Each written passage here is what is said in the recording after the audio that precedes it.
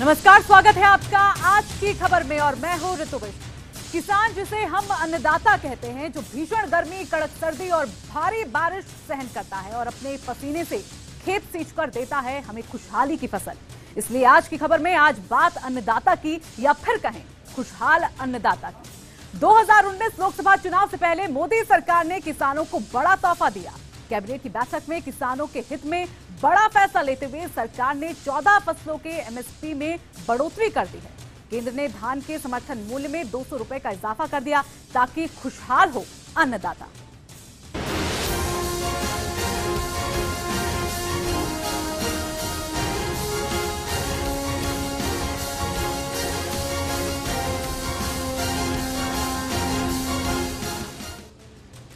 मोदी सरकार ने किसानों से किया अपना पूरा वादा निभाया है। कैबिनेट बैठक में सरकार ने खरीफ फ़सल की एमएसपी बढ़ाने का फैसला लिया। फैसला इसलिए खास है कि बढ़ोतरी बीते 10 सालों में सर्वाधिक है। इसी मसले पर बात करेंगे खास मेहमानों से, लेकिन उससे पहले देखिए ये स्पेशल रिपोर्ट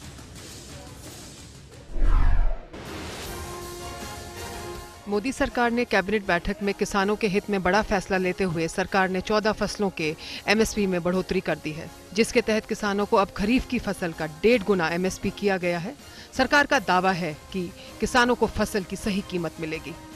अब किसानों को धान की फ़सल पर एमएसपी 1750 रुपए प्रति क्विंटल कर दिया गया है। पिछले साल यह 1550 रुपए थी।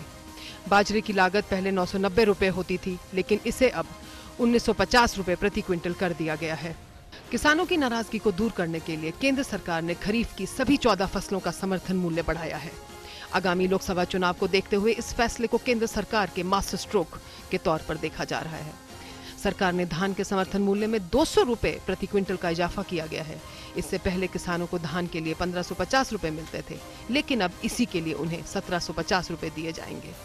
दावा किया जा रहा है कि इस फैसले से देश के 12 करोड़ किसानों को फ़ायदा होगा। मोदी सरकार का ये फैसला सीधे तौर पर हरियाणा, उत्तर प्रदेश, पंजाब, महाराष्ट्र, गुजरात समेत कई प्रदेशों में सीधा असर दिखाएगा। इन राज्यों में किसानों की संख्या अधिक है और लोकसभा सीटों की भी। पिछले हफ़्ते गन्ना किसानों से बात करते हुए पीएम मोदी ने यह वादा किया था कि खरीफ सीज़न के लिए फ़सलों के इनपुट कॉस्ट के डेढ़ सौ फ़ीसदी तक एमएसपी करने की योजना को लागू किया जाएगा। उन्होंने कहा था कि उसे इस हफ़्ते होने वाले कैबिनेट बैठक के दौरान मंजूरी दी जाएगी। इससे पहले भी मोदी सरकार की तरफ़ से गन्ना किसानों के लिए राहत दी गई है। Bureau report, first India news, Jaipur.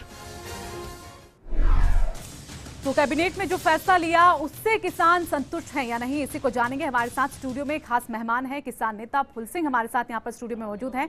बहुत बहुत स्वागत है आपका फुल सिंह जी। फुल सिंह जी, कैबिनेट की बैठक में यहाँ पर फैसला लिया, एमएसपी को घटा, बढ़ा दिया गया है। यहाँ पर क्या इससे आप संतुष्ट दिखते हैं? क्या कुछ और भी यहाँ पर रियायत दी जानी चाहिए थी सरकार को? पहले तो सरकार ये बताए कि इस खरीद की व्यवस्था इनकी प्रॉपर है कि नहीं है। आज तक मेरे किसान ने जो पैदा किया, उसको संपूर्ण खरीदने में भी सरकार सफल नहीं है।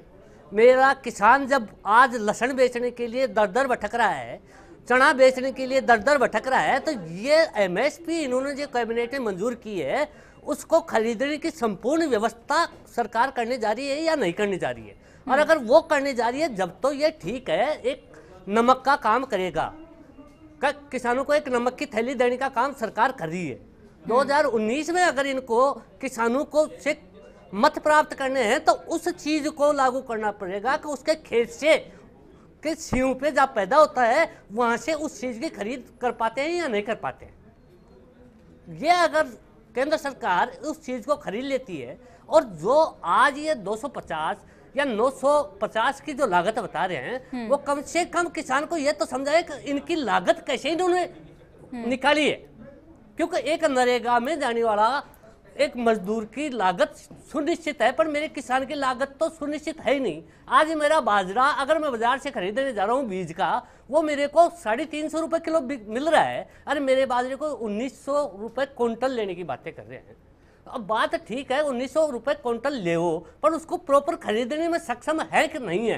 चार साल से, पाँच साल से मैं देख रहा हूँ, बाजरे की तो खरीद शून्य के बराबर होती है, कोई खरीदता ही नहीं है। उसका भाव नीचे है ऊपर है हम फिर आड़तियों के पास वहीं मंडियों में जाके लुटते हैं। तो उस लूट को रोकने की व्यवस्था सरकार क्या करने जा रही है ये बात किसान को समझाए और मार्केट को बताए। लेकिन सरकार का तो कहना है कि इसकी पूरी व्यवस्था हमने की है। किसान का जो अनाज है किसान की जो फ़सल है वो खराब ना जाए इसको लेकर पूरी व्यवस्था की गई है और इसी को लेकर दम भी यहाँ पर भरा जा रहा है। नहीं तो ये चीज़ ये चीज़ अगर सरकार कह रही है मैं केवल एक स्टेट की बात करता हूँ।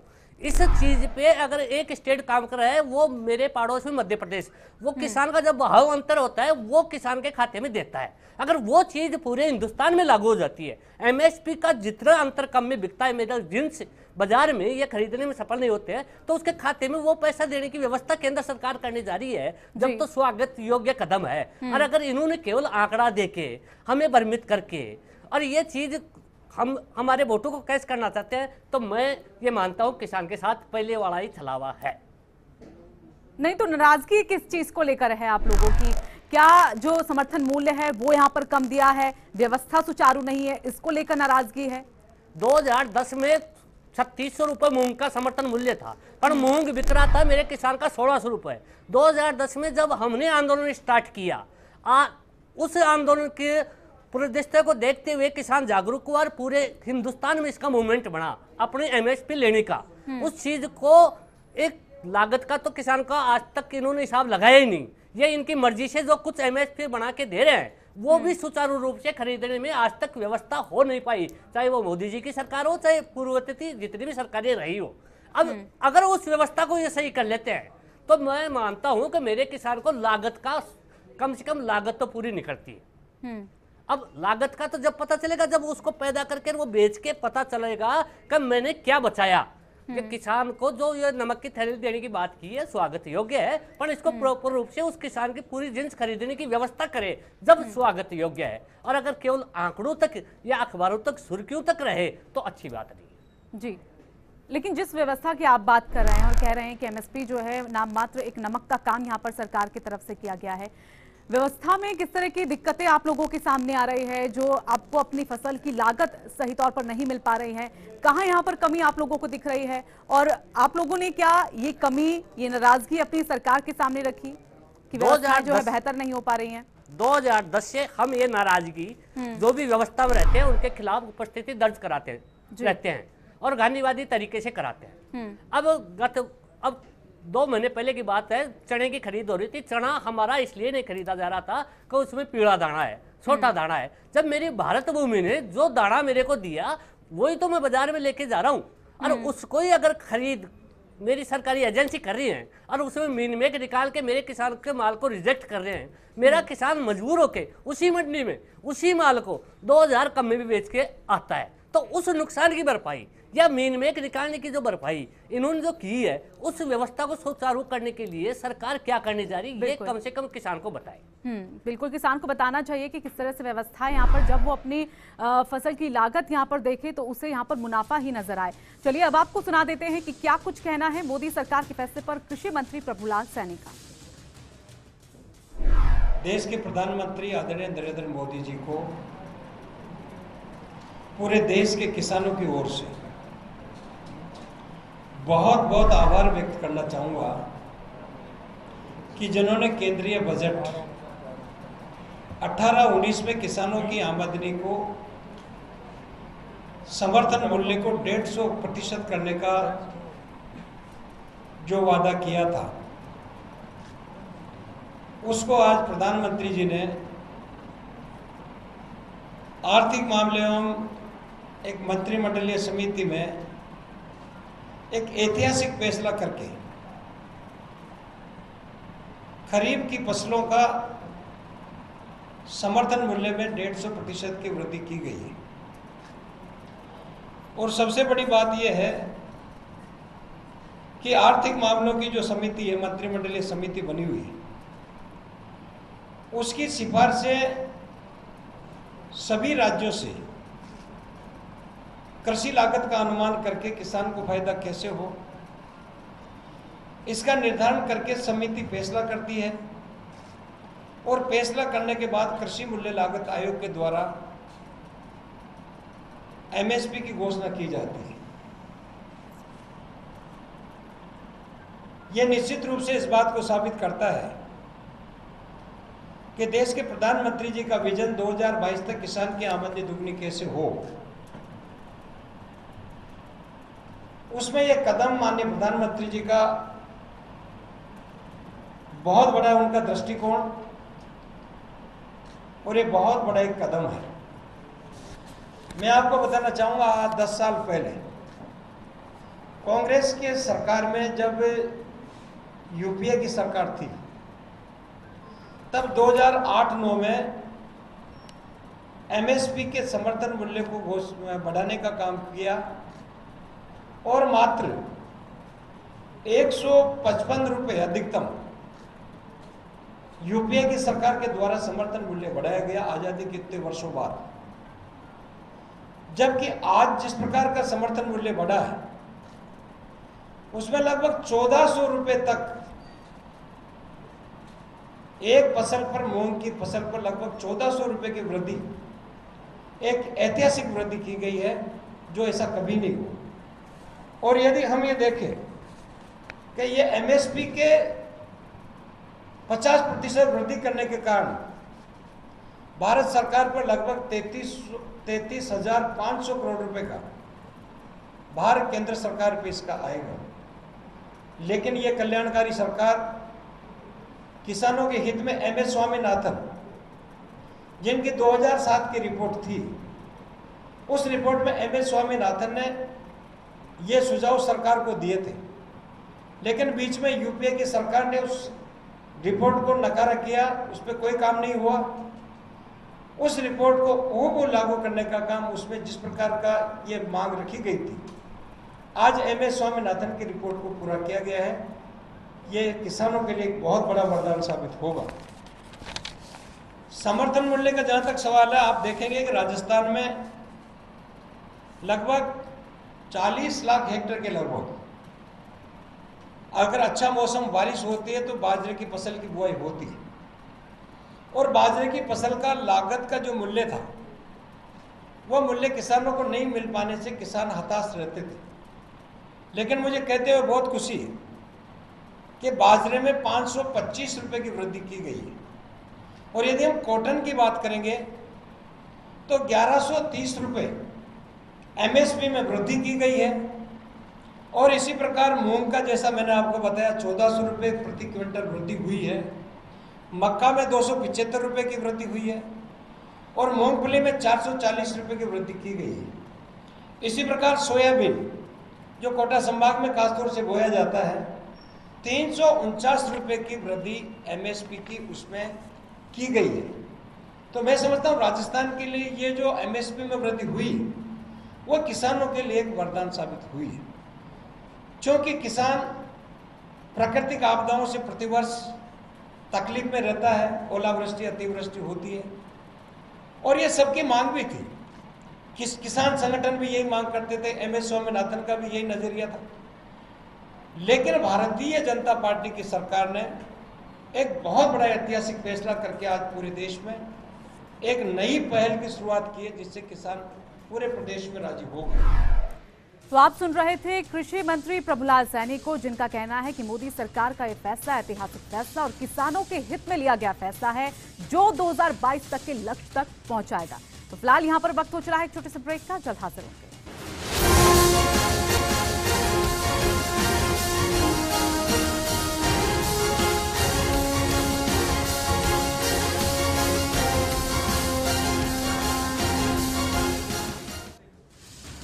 ब्रेक के बाद एक बार फिर से स्वागत है आपका। खुशहाल होगा अन्नदाता। और इसी पर सवाल ये कि क्या सच में यह ऐतिहासिक फैसला जो मोदी सरकार के ज़रिए लिया गया है, उसके बाद अन्नदाता खुशहाल होगा। पुल सिंह हमारे साथ लगातार हमारे स्टूडियो में मौजूद हैं, किसान नेता हैं। पुल सिंह जी, इससे पहले हमने कृषि मंत्री प्रभुलाल सैनी जी का वो बयान सुना, जिसमें उन्होंने बताया कि मोदी सरकार का ये जो फैसला है, कितना ऐतिहासिक है। किसानों के हित में लिया गया फैसला है। और राजस्थान के किसानों के लिए काफ़ी मददगार यहाँ पर बताया है कि राजस्थान के किसानों को सिंचाई के लिए पानी उपलब्ध नहीं हो पाता है, बारिश नहीं हो पाती है। ऐसे में कहीं ना कहीं वरदान राजस्थान के किसानों के लिए है। नहीं, ये वरदान तो जब होगा ना, जब इसकी प्रॉपर खरीद आप कर लोगे, किसान।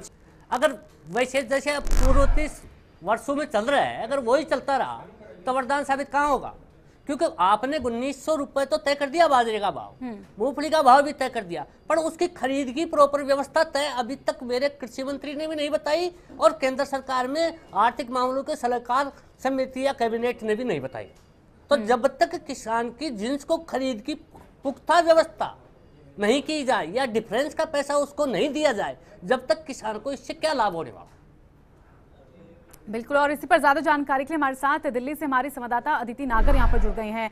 अदिति कैबिनेट की फैसला कैबिनेट की बैठक में फैसला लिया गया ऐतिहासिक बताया जा रहा है अन्नदाताओं के लिए। अ, क्या कुछ जानकारी इसको लेकर और क्या कुछ कहा गया है इस बैठक में फ़िलहाल? देखिए सबसे पहले तो आपको बताएँगे कि ये 2019 की जंग से पहले जब किसानों के लिए इतनी बड़ी राहत है क्योंकि पीएम नरेंद्र मोदी इस बात को बखूबी जानते हैं कि 2019 की जंग बिना किसानों के साथ लिए नहीं जीती जा सकती। और ऐसे में अब किसानों को बड़ा तोहफा दे दिया है। कैबिनेट की बैठक में किसानों के हित में बड़ा फैसला लेते हुए सरकार ने 14 फ़सलों के एमएसपी को बढ़ोतरी कर दी है। और आपको बताएँ कि केंद्र ने धान के समर्थन मूल्य में दो सौ रुपए का इजाफा कर दिया है। आज कैबिनेट की बैठक में सरकार ने खरीफ फ़सल की एमएसपी बढ़ा बढ़ाने का फैसला लिया था और राजनाथ सिंह जी ने एक ऐतिहासिक बयान ऐतिहासिक इस पूरे तमाम चीज़ को बताते हुए ये कहा कि मैं भी एक किसान परिवार से हूँ और आज तक कोई ऐसी सरकार नहीं आई जिसने किसानों के बारे में इतना सोचा हो। और ऐसे में आपको बढ़ोतरी कम से कम बीते दस सालों में सर्वाधिक बढ़ोतरी को बताया जब राजनाथ सिंह जी ने बताया और किसानों के लिए आपको एक ये भी जानकारी देंगे कि कुछ दिनों में गन्ना किसानों के लिए भी क्योंकि।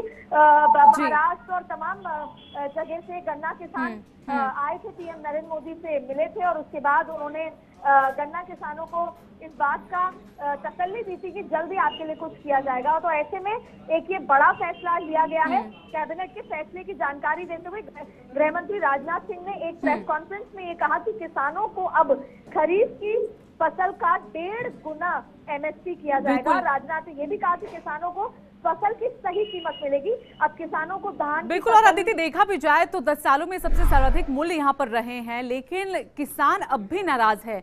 कई किसान यूनियनों का यहाँ पे बयान आया है। इस फैसले के बाद जब कैबिनेट की बैठक हुई जब ये फैसला सामने आया तो उनका कहना है कि नाकाफी है। ये जो मूल्य बढ़ाया गया है वो नाकाफी है। देखिए ज़ाहिर तौर पे पर ये एक स्ट्रैटेजी के तहत है। देखिए 2019 में अभी एक साल बाकी है और उसमें पहले से ही ये प्लेटफॉर्म तैयार किया गया। है और देखिए जब भी कोई कोई व्यक्ति कोई संगठन नाराज़ होता है। तो अब क्योंकि पुरानी नाराज़गी काफ़ी लंबी है तो वो एक झटके में ठीक नहीं हो सकती। ऐसे में अभी इतना बड़ा तोहफा दे देने के बाद गन्ना किसान से लेकर और भी कई योजनाएँ अलग अलग राज्यों में अलग अलग स्तर पर अब जब दी जाएँगी तो ऐसे में जो गुस्सा और जो नाराज़गी है वो धीरे धीरे कम होने लगेगा। और फिर 2019 तक अ, बढ़ती नज़र आएँगी।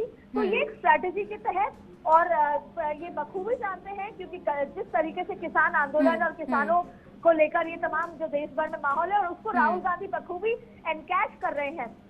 इसलिए आज ये इतना बड़ा फैसला देने के बाद इसको इस तरीके से आज कैबिनेट में फैसला हुआ है।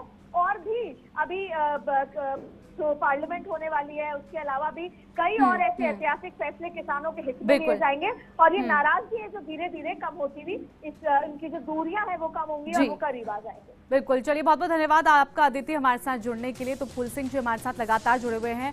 फुल सिंह जी हर कोई इसे ऐतिहासिक बता रहा है और हो भी क्यों ना क्योंकि 10 सालों में ये मूल्य जो है बड़े हैं इससे पहले किसी सरकार ने यहाँ पर किसान के लिए नहीं सोचा। मोदी सरकार यहाँ पर सोच रही है और सोच रही है कि हर एक साल में जो है किसान को वो आगे लेकर चले और 2022 का लक्ष्य भी यहाँ पर मोदी सरकार ने पहले ही सुनिश्चित कर दिया था कि 2022 तक किसानों की जो आय है उसको दोगुना किया जाएगा।